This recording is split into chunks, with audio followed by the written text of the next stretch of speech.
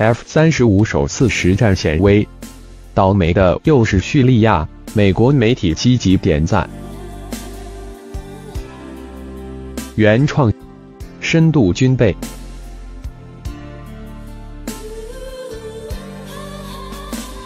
F 三十五作为美国倾力打造的一款五代隐身战机，自从问世之后就饱受争议。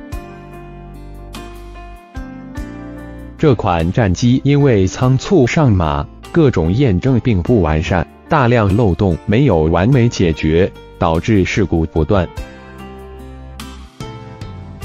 因为不堪事故多发，美国军方暂停了这型战机使用，仅仅在盟友国家进行试验。以色列作为美军最为重要的盟友，支持美军当然不含糊。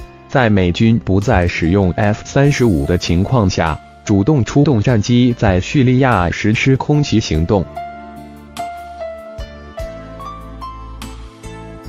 据伊朗媒体报道，以色列在四月二十九日晚出动 F 三十五引擎战机突袭叙利亚三个伊朗军事基地，给伊朗带来了严重损失。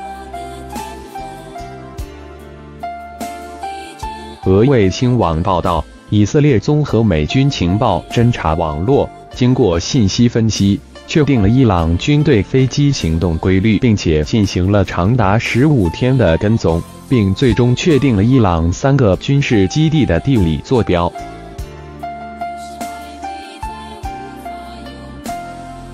经过论证之后，以色列决定派出 F 三十五隐形战机执行这次任务。据悉，以色列利用这款隐身战机巧妙躲过了叙利亚雷达网，并最终对三个基地实施了打击，造成大规模轰炸。剧烈爆炸除了给伊朗军方造成较大损失之外，还给当地居民带来了极大伤害。